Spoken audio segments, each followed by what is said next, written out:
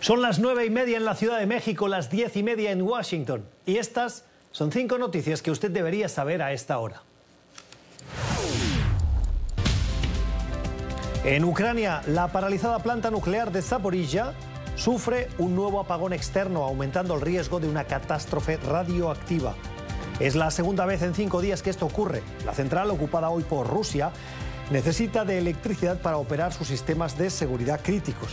El apagón de las últimas horas se debió al impacto de un misil en una subestación eléctrica que provocó el cierre de emergencia de la última fuente de energía exterior que dispone la planta, según informaron las autoridades. A pesar de que los seis reactores que componen la central permanecen detenidos, la energía eléctrica es clave para evitar que se sobrecaliente hasta el punto de una fusión que cause que la radiación salga de la que está considerada la planta nuclear más grande de Europa. Según Ucrania, los generadores diésel estaban abasteciendo la planta, pero las tropas rusas bloquearon el convoy que transportaba combustible para ese propósito. Estados Unidos estudia ofrecer un estatus de acceso a Estados Unidos legal, especialmente a migrantes venezolanos. Se trata de un alivio similar al que tienen hoy ucranianos que llegaron a este país tras la invasión rusa.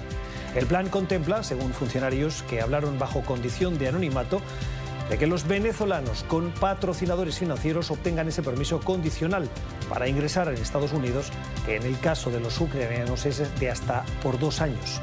La decisión es parte de la estrategia de la administración Biden para desincentivar la migración irregular, pues el ingreso debe ser por vía aérea. Los venezolanos que crucen la frontera ilegalmente por tierra serán devueltos inmediatamente a México, según los funcionarios consultados por medios estadounidenses. En Perú, el presidente Pedro Castillo está acusado de dirigir una organización criminal.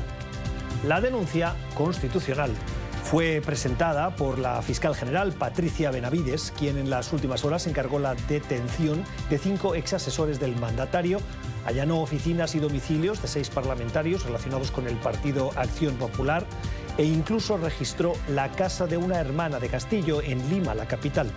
De acuerdo con el Ministerio Público, se han encontrado indicios de la existencia de una presunta organización criminal que funcionaría desde el Palacio de Gobierno con la finalidad, dice la Fiscalía, de copar, controlar y direccionar ingresos de contrataciones para obtener ganancias ilícitas. El presidente ha calificado estos hechos de abusivos y ha defendido su inocencia. México se prepara para la llegada de la tormenta tropical Carl con fuertes lluvias. De acuerdo con el Servicio Meteorológico Nacional, el ciclón se ubica ahora a 250 kilómetros del puerto de Veracruz y también de Tamaulipas. Se espera que pueda tocar tierra como huracán categoría 1.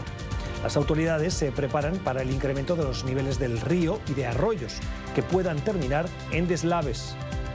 Cal se formó apenas un día después de que se disipara el huracán Julia en el Pacífico tras tocar tierra en las costas de Nicaragua, en el Caribe, y dejar 30 muertos a su paso por Centroamérica. El ser humano ha cambiado la órbita de un cuerpo planetario. Lo ha anunciado por primera vez en la historia la NASA. Se trata del resultado de la misión de la nave espacial DART, que el pasado 26 de septiembre se estrelló a propósito contra el asteroide Dimorphos. El objetivo de la agencia espacial era practicar la protección de nuestro planeta ante futuros impactos potencialmente peligrosos de otros asteroides. Según la NASA, el impacto de DART sobre Dimorphos redujo su órbita en 32 minutos, un éxito teniendo en cuenta que lo anticipado por los científicos había sido de 10 minutos. Los planificadores de la misión avanzarán ahora en otros intentos para, dicen, reorganizar el sistema solar.